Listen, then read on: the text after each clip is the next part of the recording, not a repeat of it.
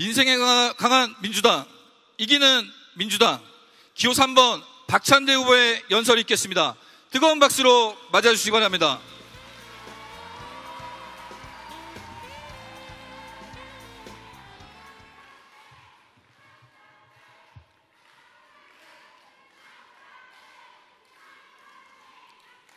민생에 강한 유능한 민주당, 이기는 민주당, 소통으로 하나 되는 민주당, 박찬대가 이재명과 함께 해내겠습니다. 윤석열 정권은 민생과 경제가 위기에 있어도 부자 감세, 서민 증세, 나라 재산 팔아먹기에 혈안이 되어 있습니다. 수도 서울이 물에 잠겼는데도 대통령은 멀쩡한 청와대를 나와서 집안에 틀어박혀 있고 여당이 하는 수해 현장에서 비가 좀 더 왔으면 하는 철없는 인증샷 놀이를 하고 있습니다. 당내 권력 투쟁에만 몰두하고 있습니다. 대통령실 일베 비서관 임명, 인정받지 않은 교육부 장관 임명 강행 후 30일 만에 사퇴하고 인사 참사가 이어져도 대통령은 사과 한마디가 없습니다. 한동훈 검찰은 검찰 직접 수사권을 부활시켜 검찰 개혁을 거꾸로 돌리려고 하고 있습니다.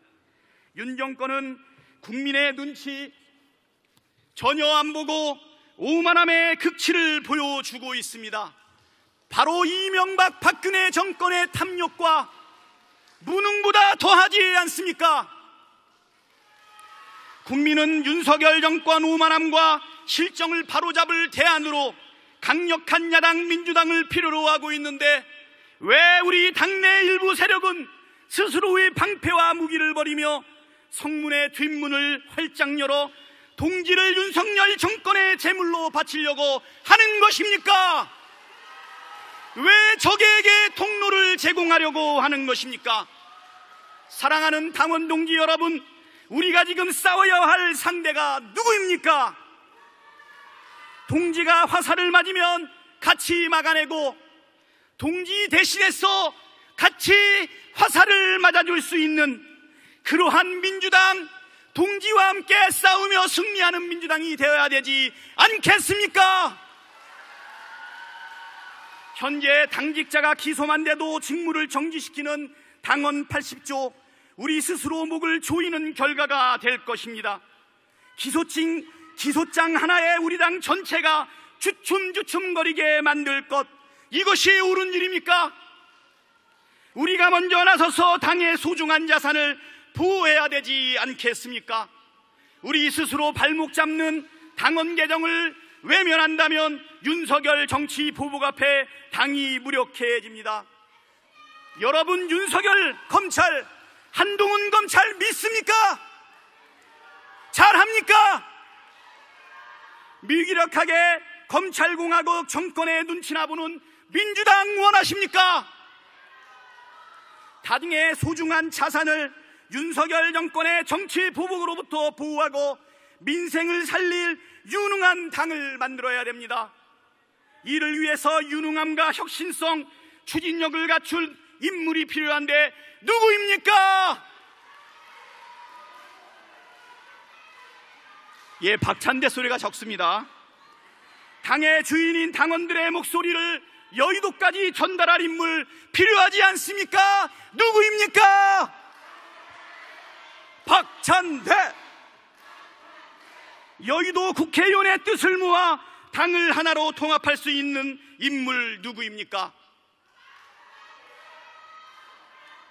1년 전 정권을 재창출할 대통령 후보로 이재명을 선택하고 대통령 후보의 수석 대변인 지방선거 총괄선대위원장의 비서실장을 맡으며 전당대회까지 이재명과 함께 해온 사람 누구입니까? 공인회계사로 실물경제 전문가로 활동했습니다. 국회 교육위원회 간사, 원내 정책 수석부 대표를 맡으며 정무 정책 능력을 키워왔습니다. 20년간 국회에서 논의 한 번 못했던 대한교육법 누가 제정했습니까? 보수 세력에 극심하게 반대에 추진하지 못했던 사립학교법 16개 단호하게 단독 통과시킬 때 교육이 간사 누구였습니까?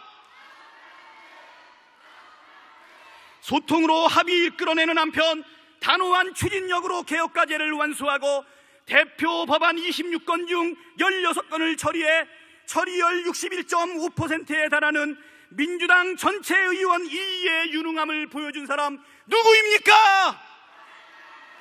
저 박찬대 유능함과 소통함